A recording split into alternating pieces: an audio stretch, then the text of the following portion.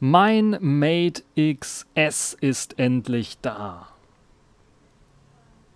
Das wohl gelungenste Fall-Smartphone auf der Welt derzeit, aber auch das teuerste Smartphone, das Huawei jemals herausgebracht hat und das teuerste Smartphone, was ich jemals gekauft habe. Dementsprechend kommt es aber auch mit allem, was man so von Huaweis Spitzenklassen-Smartphones her kennt.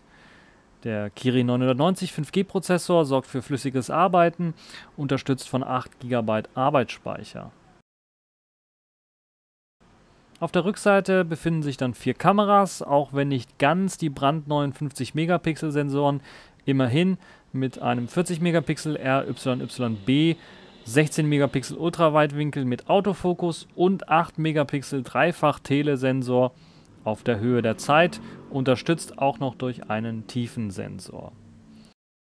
Bedienknöpfe befinden sich auf der rechten Seite mit Lautstärkeregler und An- und Ausschalter mit integriertem Fingerabdruckscanner. Auf der Rückseite befindet sich noch ein Knopf zum Öffnen des Fall-Smartphones. 4500 mAh starker Akku und 512 GB interner Speicher sind auch gehobener Standard. Mit dabei gibt es ein USB Typ C Kopfhörer, USB Typ C Ladekabel, ein Exoskelett, eine Exoskeletthülle, Papierkram und bei meiner neuseeländischen Version ein 40 Watt Netzteil. Bei der deutschen, europäischen Version wird es wahrscheinlich 65 Watt betragen. Das Mate XS verfügt über einen im ausgeklappten Zustand 8 Zoll großes Display mit Plastikoberfläche. Einklappen lässt sich das Mini-Tablet auf ein Smartphone-Niveau mit etwa 6,6 Zoll. Das ist dann etwa so groß wie mein Mate 30 Pro. Und das Display auf der Rückseite kann auch auf 6,3 Zoll bestimmte Display-Inhalte darstellen.